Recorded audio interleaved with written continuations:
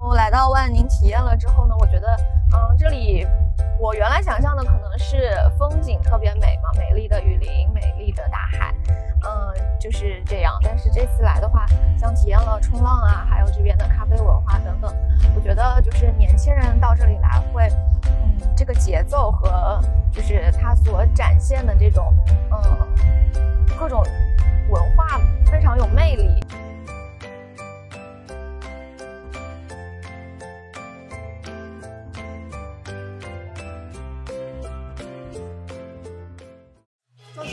站起来。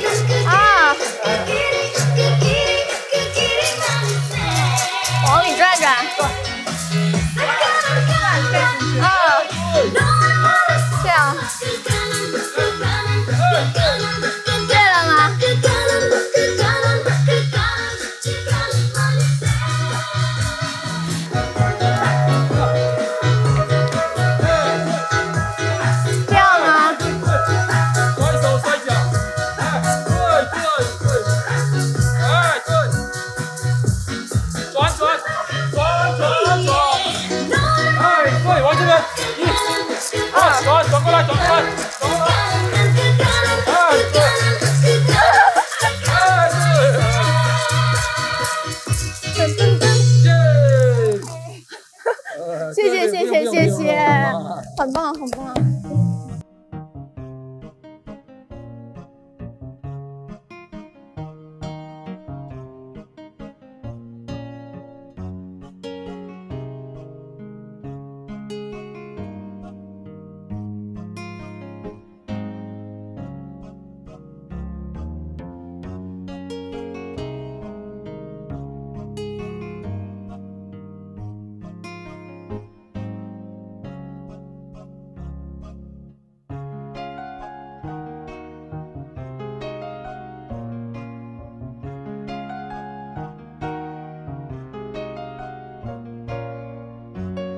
窗外的景色就是热带的，特别有热带风情、雨林的感觉。哎，王老师，这个是什么呀？这个叫形状好奇怪。叫像扇子一样哈。对啊应该叫旅人蕉，哦呃，马达加斯加的国树。